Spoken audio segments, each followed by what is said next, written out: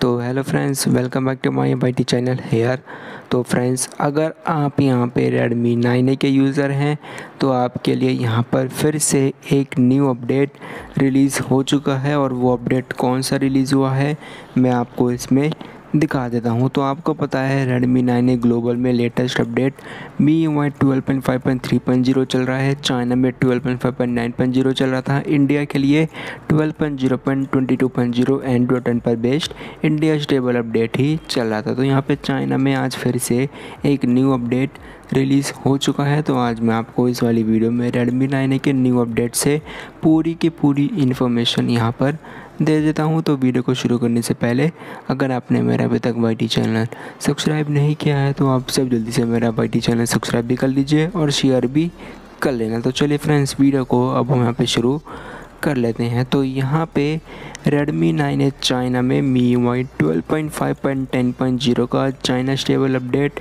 Enhance पर based Android 11 पर China stable update release हो चुका है और इस अपडेट के डाउनलोड लिंक्स भी मेरे टेलीग्राम चैनल पर अवेलेबल हो चुके हैं। इस अपडेट की रिकवरी रोम और इस अपडेट की O T A ROM twelve point five point nine point zero से। तो यहाँ पे चाइना में रेडमी नाइन के लिए इतने सारे अपडेट्स आ चुके हैं। सबसे पहले twelve point five point one point zero Android ten पर आया था। उसके बाद twelve point five point four point zero Android eleven पर। उसके बाद twelve point five point five point zero, फिर twelve point five point nine point zero और अब twelve point five point ten point zero. और ऐसा ही same to same global stable के साथ ही हुआ था। ग्लोबल स्टेबल में हमें रेडमी नाइन डिवाइस के लिए सबसे पहले मी वाई ट्वेल्व का अपडेट आया था, उसके बाद twelve point five point two point zero का अपडेट आया था, उसके बाद twelve point five point three point zero का। तो यहाँ पे twelve point five point one point zero हमें फ़र्स्ट जनवरी को देखने के लिए मिल गया था one point eight G B के साइज़ में। उसके बाद इस अपडेट के डाउनलोड लिंक्स भी मेरे टेलीग्राम चैनल पर अवेलेबल हो चुके थे। उसके बाद हमें पच्चीस जनवरी को twelve point five point two point zero public में रिलीज़ हो चुका था ग्लोबल शेबल में ही एंड्रॉयड 11 पर बेस्ड और ये अपडेट यहाँ पर एनहेंस पर बेस्ड हमें देखने के लिए मिल गया था और इस वाले अपडेट में आपको जनवरी मंथ का सिक्योरिटी पैच भी देखने के लिए मिल गया था। और इसके बाद 12.5.3.0 ये 12 मार्च को देखने के लिए मिल गया था। इस अपडेट का साइज़ आपको 274 MB का देखने के लिए मिल गया था और इसमें आपको मार्च 2022 का सिक्योरिटी पैच भी यहाँ पर दे दिया गया था। तो यहाँ पे ग्लोबल स्टेबल, चाइना स्टेबल में मार्च सिक्योरिटी पैच में 12.5 पॉइंट के अपडेट्स आ चुके हैं, चाइना में भी और ग्लोबल में भी।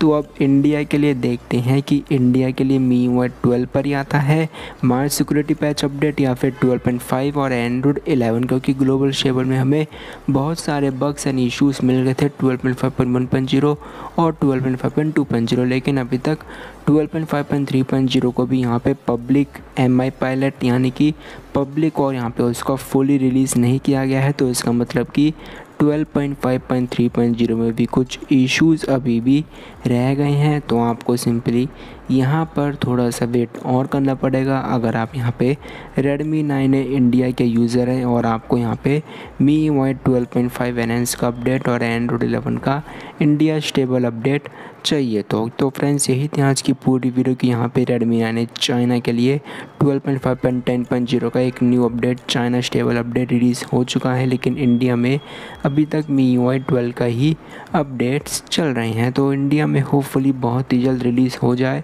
12.5 एनएस का अपडेट एंड्रॉयड 11 पर बेच। तो यही थी आज की पूरी वीडियो रेडमी नाइन से रिलेटेड अगर आपको वीडियो अच्छी लगी तो आप एक वीडियो को लाइक कर दीजिए और अगर आप मेरे बाई चैनल पर पहले बनाए हैं तो आप सब्सक्राइब भी कर लीजिए और शेयर भी कर लेना। तो चलिए फ्रेंड्स आज के लिए बस इतना ही।